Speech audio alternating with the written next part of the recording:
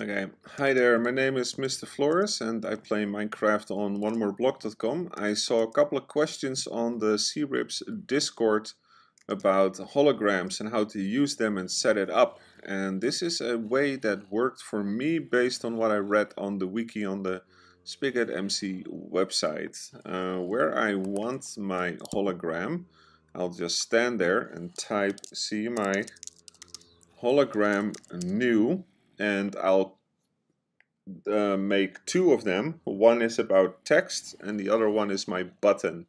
And this way I can add multiple buttons for one hologram of text and I can have one hologram of text with multiple pages, allowing me to have an interactive menu, which is pretty nifty, a little confusing, but we'll get there, I'll show you. So the name of the hologram is something that you want to do. For example, uh, rules or you want to say hello or whatever. But the name of it can be short, simple, and kind of everything. So let's say uh, this is going to be our test, and this is going to be the text for the test. So we've now created one. Uh, first thing we want to do is add a little bit of text to it. By just clicking add new, you can now type anything in there. So you can do like an orange text that says this is page one.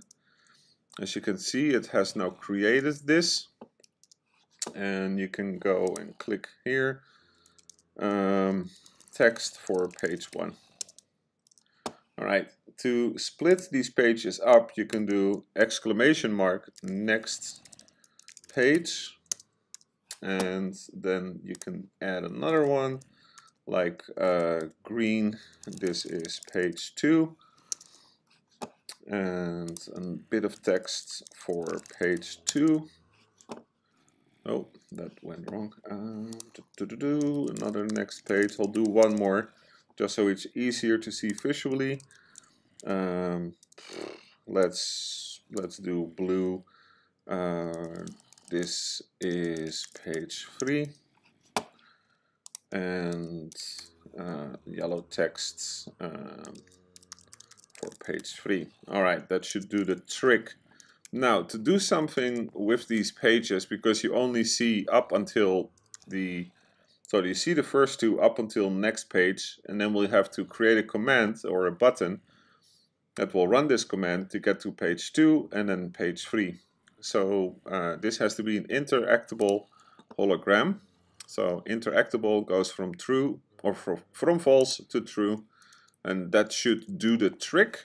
Now we just need to create a button which we can do right below it if we want. I'll go a little bit there. and CMI uh, hologram new. This was a test and I'm going to call this one my button. And you can use an icon for this which is kind of cool. For example, um, magenta now let's do all magenta glazed terracotta and we're going to use enchanted at the back of it just so it has a pretty enchanted glow to it. There we go.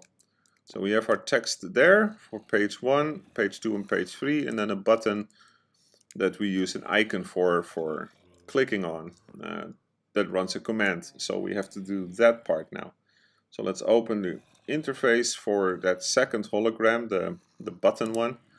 Set it to interactable and add a command. Um, we don't want to give the player these permissions, we just want to run it from console. So that's what we're going to do. From console, um, let's see, uh, CMI hologram pages, that's what we want to do stuff with for the test text and this is for player name and we want it to run next.